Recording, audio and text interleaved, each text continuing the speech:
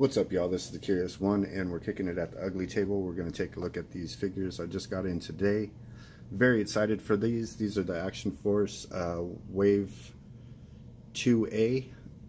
I'm still waiting on my Wave 1 figures that I have uh, pre-ordered. I don't have all of them pre-ordered, but I do have, uh, I believe, the majority, or at least three or four.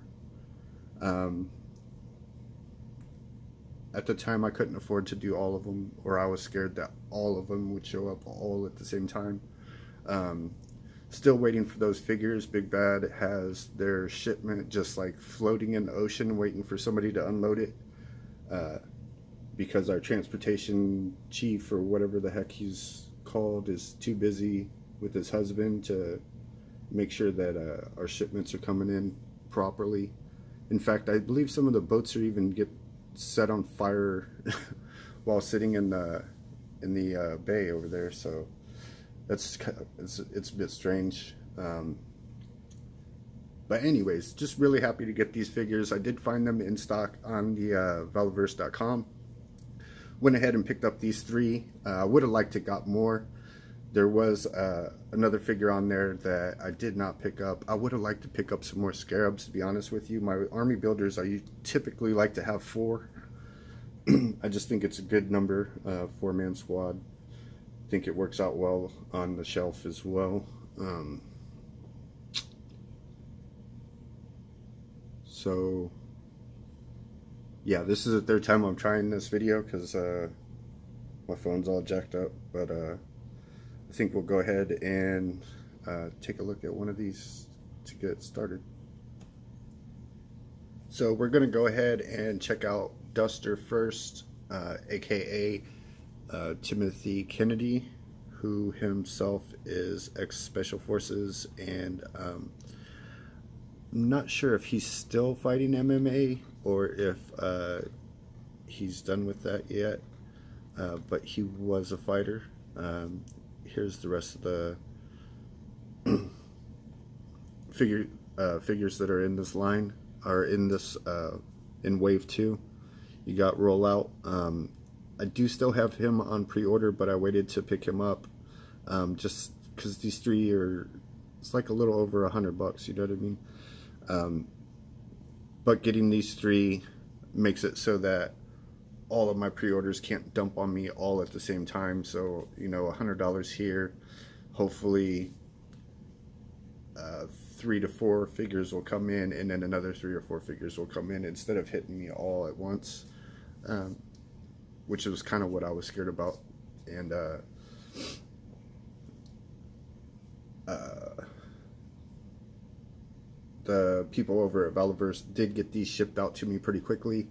And in fact, they actually even came in early, so UPS did a pretty good job as well.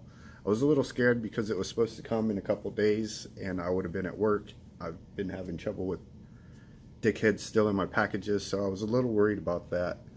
But luckily it came in today while I was off and uh, I could just walk to the door and grab the package. Don't have to worry about people stealing them.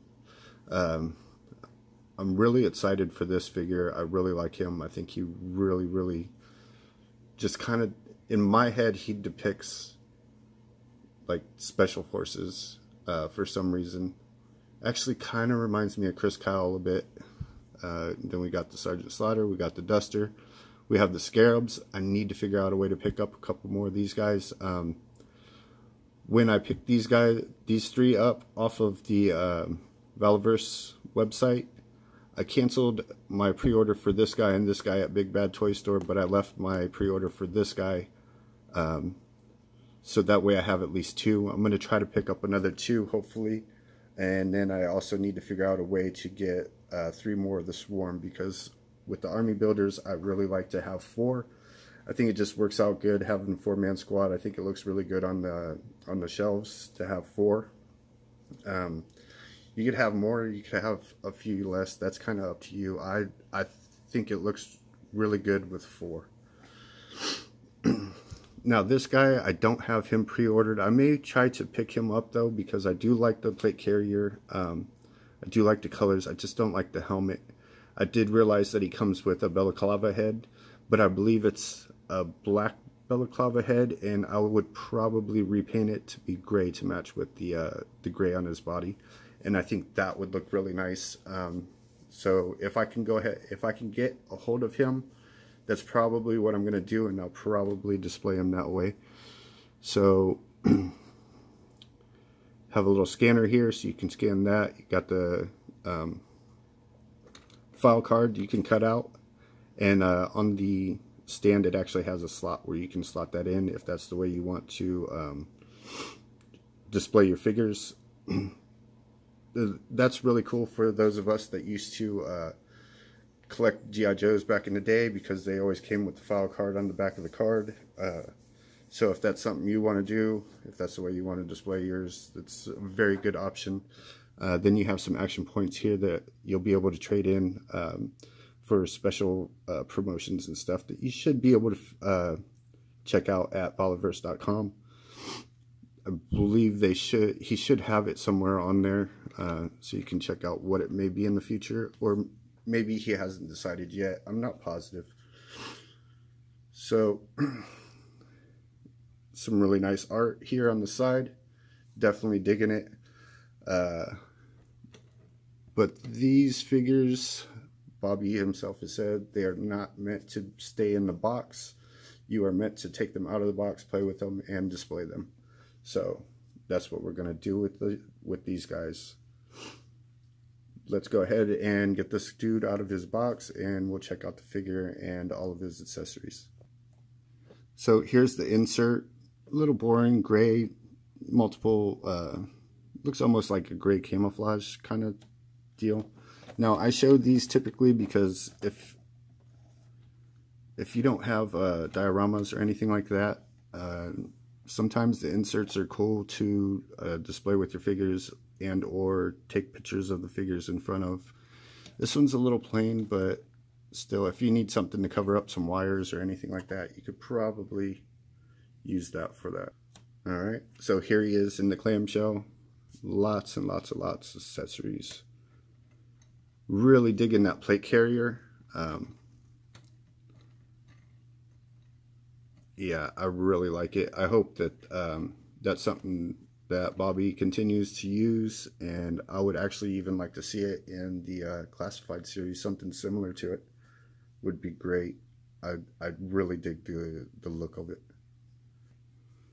So he is uh, actually saran wrapped in here, which is both funny and cool and uh, keeps the accessories from flopping all over the place. Now, I have seen it said, I don't have any of the version 1 figures in hand right now, but uh, I believe that this used to be back here behind the figure, and now it's uh, underneath. Alright, so here he is with all of his accessories. Um,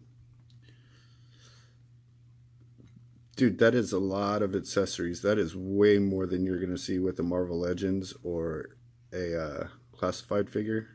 I'm not sure I've seen not sure I've seen this many accessories with anything in this price range. I could be wrong. If you guys want to uh, correct me, you can do that in the uh, comment section. But uh, here's going to be your stand. Pretty nice looking. You can see that slot right there. That's for the uh, for the file cards. You got four different pegs for uh, different display options. Really nice looking. Um, I'll probably, I may not be using those just because of the way I like to display my figures. I like to put them in scenarios and stuff. Uh, now, he does have... Where my tweezers go? Now, he does have some accessories that are already on his body. Of course, the plate carrier and the um, pistol belt. But you can actually remove these magazines from the uh, magazine carrier there and you can place them back in and they do not fall out uh, they can actually be a little bit difficult if you, with your big fat fingers, to get in there. And then, of course, he has his uh, knife that comes in the holster. So let's check that out. So it's going to be a Gerber StrongArm. Very, very nice knife. I'm not sure how Bobby afforded to uh, include this with the figure. Nah, I'm just fucking with you guys. Here you go. So it is a 112th scale uh, knife. It looks like I got a little bit of paint damage there, but not too bad. Very, very nice. Very good. Um, focus. Yeah, there we go. Pretty good um, representation of the Gerber StrongArm. And then, of course, it does fit in the Kydex sheath, which can be placed on a plate carrier and does not fall out. That's always good. Back here on your back, you have his radio. Really dig that plate carrier. I uh, don't believe the pistol mags are removable. No. No, they are not. Neither is uh, his multi-tool or flashlight or uh, what is that, a Gerber Ghost, I believe. Could be wrong. Got a Kydex uh, holster for his pistols, for his pistol, and then a first aid kit on his like on a leg drop holster. Um, now this looks a little funky, but it works. I don't mind it too much. Um, makes sense if he doesn't have them. Um, what Jim calls it. Uh, oh, I can't even think of it. Anyways, you're going to get two head sculpts. You're going to get the regular head sculpt here. He's going to come with uh, his trigger fingers on already. You're also going to get his MMA fighting face sculpt of him screaming with his big old, I don't know, 50s mustache. So depending on how you want to display that, excuse me, I uh, can't remember what um, make and model this uh, pistol is, but it does have a red dot sight on there, pretty tight. I believe it's uh, it's what Tim Kennedy actually um, carries and or uses for his practice. So that's going to fit in your holster, not going to fall out on you. Like the uh, second wave of uh, snake eyes. Then you're going to get some open grasping hands.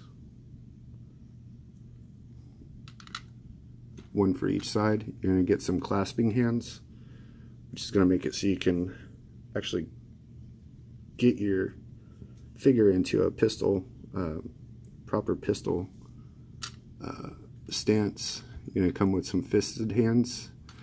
Uh, this is also going to be able to make it so you can correctly hold your rifle.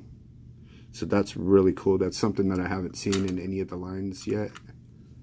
Um, I could be wrong, but I haven't seen it yet. Uh, very, very happy about that. Then, of course, he's going to come with this fast helmet. and these parts yes they peg in right here so you can have it either with these as the ear protectors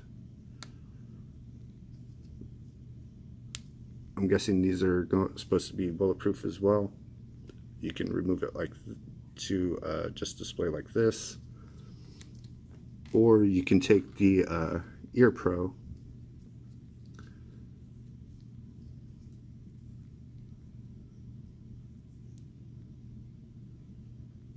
And plug in your ear pro and you'll be able to display it like that with the mic.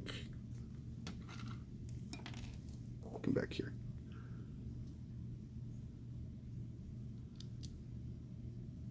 which is very cool. Which is all something you can do with the helmets uh, for real for real. Now I may have these backwards. This might supposed to be no no no. No I'm I, I believe I'm correct. Now this mic is uh this mic is a very soft material luckily otherwise I probably would have snapped it already so you can slap these on and then it looks like they should be able to move out of the way and or be placed down and be in use. So here the figure is with his helmet with the ear pro on. Now you also are going to get these uh, little plug-in NVGs, night vision goggles, which you can display like that, or you can pop them out and uh, turn them upside down to make it look as though he has them flipped up. Now, technically that is incorrect, I believe, but it works. I mean, it's an action figure. He's got them flipped up. I mean, it now, if he were to just straight throw them on, like flip it down, it would be backwards, but it works for, for the purpose. I, th I think it looks good. And then uh, he's also going to come with just straight up Ear Pro. So if you want to display him with just his Ear Pro and uh, mic on, you can also do that. Probably have to play with it a bit to get it to sit just right. But that's what that would look like. Yeah, you may have to heat them up and uh, form them a little bit to get them to fit exactly properly. But that's still cool man like really happy with that with that option. Uh, you could also use it for for other figures as well. Then finally you're gonna get his scar heavy. I believe it's a scar heavy. And it's also gonna have a grenade launcher. Now this is a rep replica of um, a rifle that that Tim Kennedy uses uh, short of the grenade launcher um, just because you're not allowed to own that in America as a civilian unless you're using it for uh, can launcher or flares. So technically, if he wanted to, he could put a grenade launcher on uh, on his firearm. He just wouldn't be able to buy high explosive rounds for it, as far as I know but that looks really nice. Um, now this is the first uh, Valaverse rifle that I have in hand.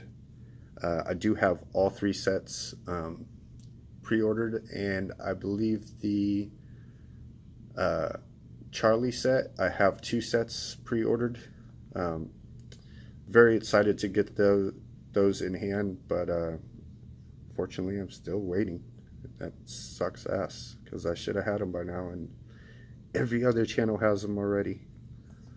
Very very annoying.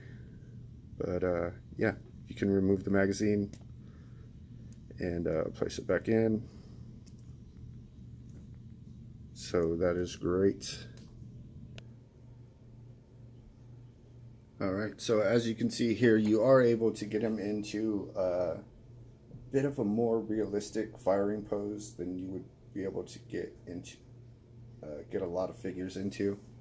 Uh, I could probably play with it a little bit more and make it even better, but I think it looks really good the way it is. Um, those clasping hands are definitely going to come into, uh, going to definitely see some good use. Uh, now, unfortunately, his trigger finger did start to get some stress on it as I was trying to get him into this pose see if it even shows up.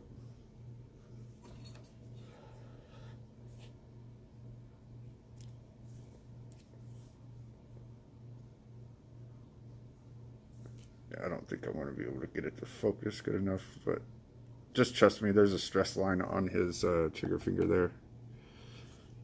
But yeah, that that is a nice action pose right there, I think. All he needs is some uh, blast effects and that would be perfect. Alright, so here he is next to the Duke from the Classified series. He's rocking a uh, Marauders.com. Um, rifle. Uh, as you can see, I have him with a vertical grip, which kind of helps uh, for the fact that he only has just the trigger finger hands. Um, can get him in a decent firing position, but not, I don't think quite as good as the uh, Action Force. Um, and the clasping hand, I think definitely is going to come in uh, handy as far as that goes. Definitely when it comes to pistol shooting. All right, so as you can see, you can kind of you can kind of fudge it with the uh, with the Duke figure if you put him in a certain angle, but when you look at Duster, like, I mean, look at that. That's how you fire a pistol. Like, it's spot on. I think the only thing that I'm seeing that I'm actually very um, disappointed in is the lack of uh, boot cuts. That is something that I complain about a lot. If you uh, watch it, any of my other reviews, you'll know that uh, is definitely something that I complain about. Um, the lack of. But other than that, I gotta tell you, this figure is fucking amazing. Um, definitely dig everything about it. Other than that one thing. So here he is next to one of the bigger um, G.I. Joe classified figures and next to one of the smaller cl uh, classified. I'm showing you uh, him with these two because I assume if you're not picking up all the uh, Action Force figures, then I'm assuming any one that you pick and choose to pick up, you're probably going to try to drop it in on your classified shelves. I think he'll fit just fine. I believe he's just a tad bit taller than the average, but um, because the classified vary so much in uh, height, I think that uh, these figures should all fit in perfectly with your classified figures. Um, so if you're mainly picking up GI Joes and you're kind of iffy about this uh, this um, line, I strongly suggest yeah go for it, dude. Pull the trigger. These definitely look very very good come with tons of accessories. They will fit in with your shelves. You're going to be able to get them in dynamic shooting stances, which you can use uh, to make your classified shelves look a little bit more realistic. Um, so you can have something like this, but then you throw him in there and he's like in a for real shooting stance. And I think that that will bring something to your shelf that'll make it look a little bit more accurate. Like as you could see um, with this guy, I had him in a pretty good rifle shooting stance. Not perfect, but pretty good. So you slap him in there with that and you slap him in like that and it gives more credibility to the other figure. You know what I mean? Or maybe that's just how I'm feeling about it. Anyways, you guys can let me know down in the comment section. Um, I hope you guys like these figures as much as I do. I hope you had fun watching me uh, kind of junk ramble about them. Um, anyways, y'all have a good night. Try to stay out of trouble, and y'all take it easy, all right? Peace.